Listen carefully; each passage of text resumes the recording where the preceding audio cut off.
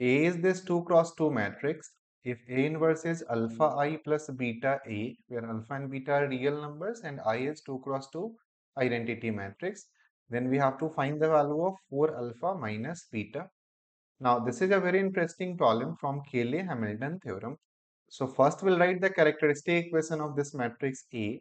We know that the general formula to write characteristic equation for any square matrix is determinant of A minus lambda equals to 0. That means from diagonal elements we'll subtract lambda and then equate the determinant to 0. However, for 2 cross 2 matrix, there is one direct formula also to get the characteristic equation. And the formula is lambda square minus trace of A into lambda plus determinant of A equals to 0. So if we use this formula, then for matrix A, the characteristic equation will be lambda square minus trace means sum of the diagonal elements. So this will be 5 lambda plus determinant of A is 6. So this is the characteristic equation for matrix A.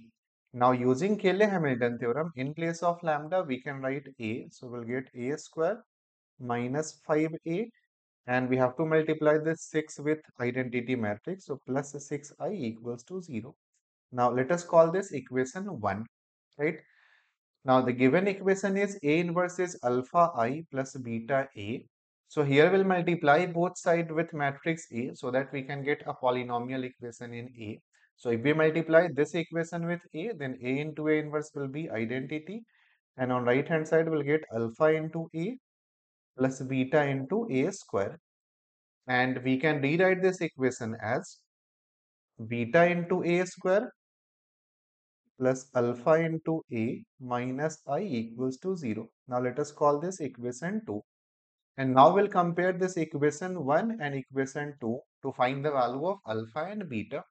Now if we compare 1 and 2, then beta by 1, this will be alpha by minus 5 and this is minus 1 by 6. The coefficient of A square, E and identity matrix will be proportional. So from here you will get alpha is 5 by 6 and beta will be minus 1 by 6. Alpha minus beta will be 1. We had to find 4 alpha minus beta. So obviously this will be 4 and the correct answer for this problem is option D.